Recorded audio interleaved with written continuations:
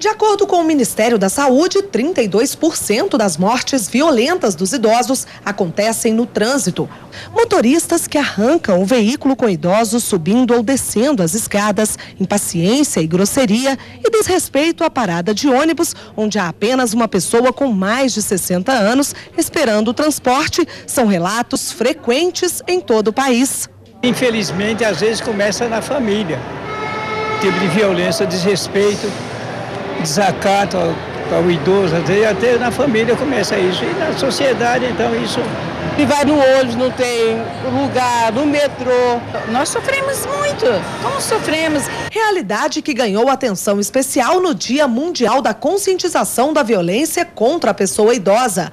Data de lançamento da campanha nacional, as pessoas idosas têm o direito de ir e vir com segurança e tranquilidade. Respeitar esse direito é um ato de cidadania todo aquele que presta um serviço público, ele pode ser uma liderança nessa construção da cultura da paz, da cultura de respeito às pessoas mais idosas. Hoje, os idosos representam 11% do total da população brasileira. São 21 milhões ao todo.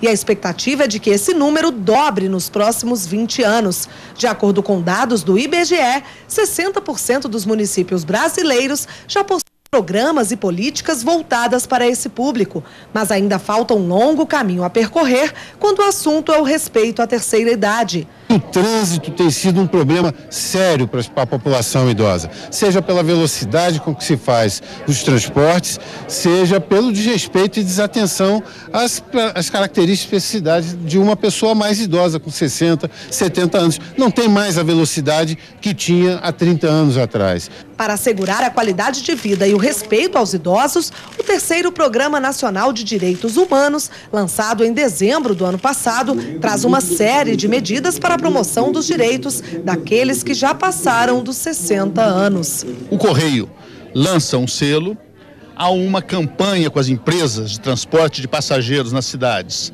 para os motoristas serem educados a respeitar as leis, isso como parte da reconstrução de uma verdadeira educação cidadã.